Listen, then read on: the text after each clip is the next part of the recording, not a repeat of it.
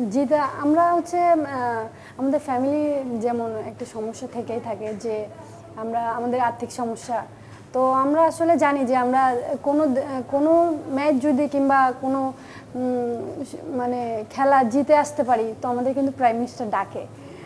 আসলে তো আমরা যদি এই ম্যাচটা যেহেতু আমরা নেপালের সাথে নেপালের সাথে তো পরে হয়েছে মালদ্বীপ, পাকিস্তান ইন্ডিয়া, যখন আমরা জিতে গেলাম তখন একটা আলাদা চাহিদা চলে আসলো যে না, আমাদের এই ম্যাচটাও জিততে হবে। ভুটানের সাথে ভুটানরা কিন্তু আমরা সহজ ভেবে নেই নাই।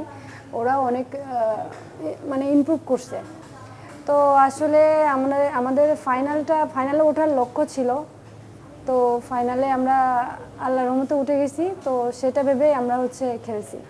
উনি আমাদেরকে ওনাকে আমরা এত বড় একটা জয় দিছি। এখন উনি তো আমাদেরকে ওভাবেই চাওটা, আমাদের চাওটা পূরণ করবে। তো উনি যে, যেভাবে যেভাবে হচ্ছে আমাদের হচ্ছে মানে চাওগুলো আছে যে ফ্যামিলির একটা সমস্যা, কিংবা কারোর বাসা নাই, কিংবা কারোর হচ্ছে, এই যেমন অনেকে, রূপনা চাকমা কিন্তু একা মা, তার কিন্তু বাবা নাই।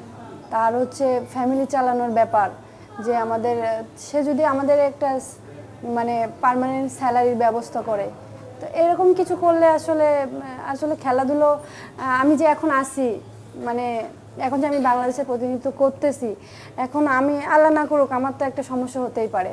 তখন আমার ফ্যামিলি সাফাই দিবে কিংবা আমার ফ্যামিলির কি হবে?